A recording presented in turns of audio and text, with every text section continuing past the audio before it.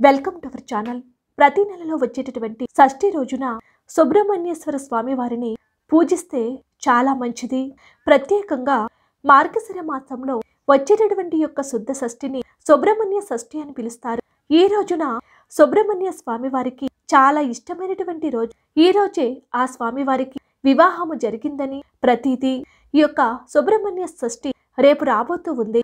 ఈ రోజున నాగపంచమి వ్రతాన్ని అదే విధముగా స్కంద షష్ఠిని ఆచరించాలి అని పండితులు అంటూ ఉన్నారు.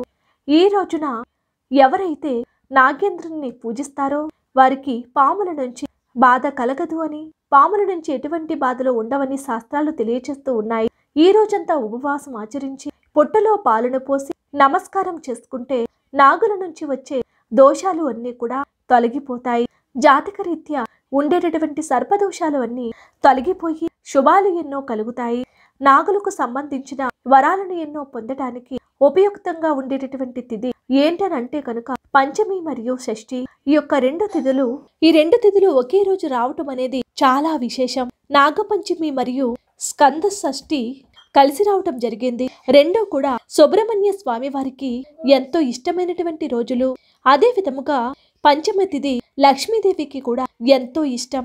పంచమి తిథి శ్రీ మహాలక్ష్మీదేవికి చాలా ప్రీతి. ప్రతి నెల శుక్లపక్షం పంచమి తిథి రోజున ఉపవాసం ఉండి మహాలక్ష్మిని పూజించినట్లు అయితే స్థిరమైనటువంటి ఐశ్వర్యం ప్రాప్తిస్తుంది. కాబట్టి రేపు వచ్చేటటువంటి సుబ్రహ్మణ్య షష్ఠి త్వ- రోజున నాగేంద్రుని పూజించడం వలన లేదా లక్ష్మీదేవిని పూజించిన మంచి జరుగుతుంది. నిజానికి పంచమితో కూడిన షష్ఠి కనుక వచ్చినట్లు అయితే ఆ రోజు ఉపవాసం ఉండి షష్ఠి నాడు స్వామివారికి పూజ చేయాలి. కనుక స్కంద షష్ఠిని ఆచరించేవారు. రేపు ఉపవాసం ఆచరించి షష్ఠి రోజు సుబ్రహ్మణ్య స్వామి వారికి పూజ చేయాలని శాస్త్రాలు తెలియచేస్తున్నాయి. మీ యొక్క ప్రాంతాల యొక్క ఆచారాలను అనుసరించి మీ రోజు మీరు ఏ రోజు కుదిరితే ఆ రోజు స్కంద షష్ఠి చేసుకోండి.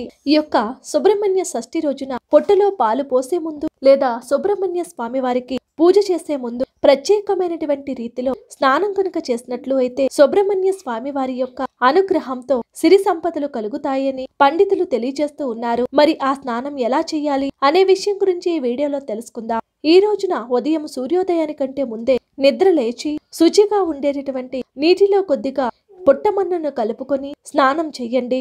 గుర్తు పెట్టుకోండి సూర్యుడు రాకముందే ఈ యొక్క స్నానం ఆచరించాలి.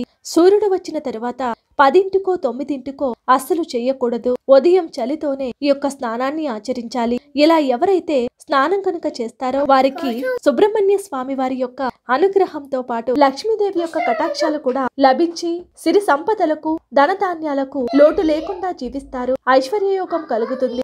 మీరు ఈ యొక్క షష్ఠి రోజున ఈ యొక్క నియమాలను పాటించి ఐశ్వర్య యోగాన్ని పొందండి. ఈ వీడియో కనుక మీకు నచ్చితే లైక్ చేయండి. మరిన్ని వీడియోస్ కోసం మా ఛానల్ సబ్స్క్రైబ్ చేసుకోండి.